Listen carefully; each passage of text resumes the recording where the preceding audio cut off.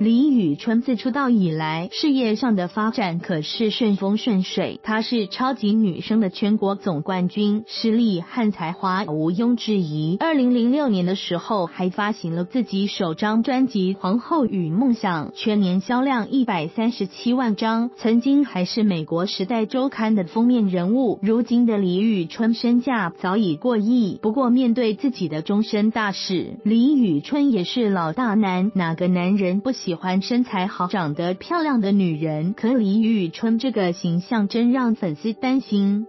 还记得超级女生那时候的李宇春吗？完全一个假小子，其他几女都穿着性感泳衣，而李宇春却只穿一件花衬衫，胸前毫无女性征兆。顿时想起那句经典口号：“我平胸，我骄傲，我为国家省布料。”如今三十三岁的李宇春早已成为娱乐圈一颗耀眼的星星。自出道以来，几乎没有绯闻传出，一心做着自己的音乐事业。而对于李宇春的感情生活，可以说是一张白纸，从没有任何恋情。不过之前有人说他和一个富二代交往，据了解，这名男子是一个煤老板，他为李宇春赞助投资了化妆品品牌。不过随即李宇春就辟谣了，和大。家说明这名男子只是该产品的大股东。